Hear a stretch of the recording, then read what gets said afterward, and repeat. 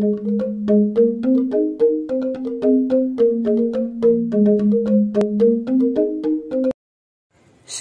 pawikan kali ini saya menemukan sebuah teks cara menetralisir sesawangan atau acep-acepan.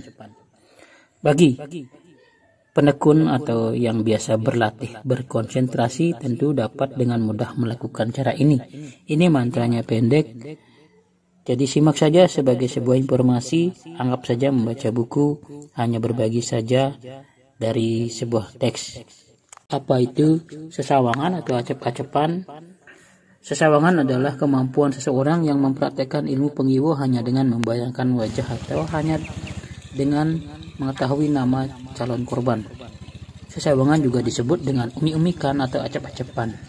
Kemampuan ini seseorang yang melaksanakannya dapat mencapai korbannya walaupun korbannya bersembunyi di dinding beton jadi bagian dari ilmu pengiwa ini seperti ada pengasren yaitu semacam pelet pengeger semacam penglaris pengasih-asih atau pengasihan penangkep semacam sarana gaib untuk membuat tunduk pepasangan itu adalah tanaman tujuannya untuk mengenai korbannya sesuai yang diinginkannya uh, cetik juga dan yang saat ini kita bahas adalah sesawangan atau acep-acepan untuk menetralisir kesawangan ada sebuah mantra ini yang sekarang saya lampirkan.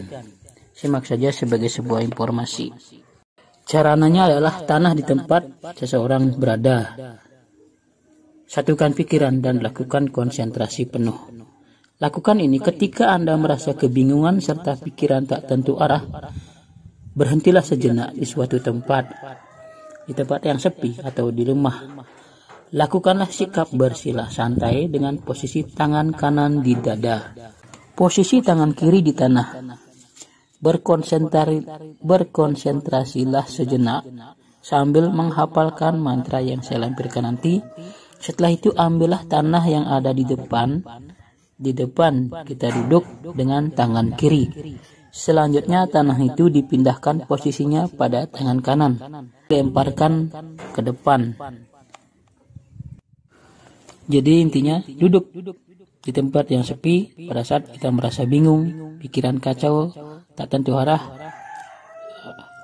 Lalu tangan kiri posisikan di tanah, tangan kanan, telapak tangan kanan di dada. Lalu ucapkan mantra yang dilampirkan.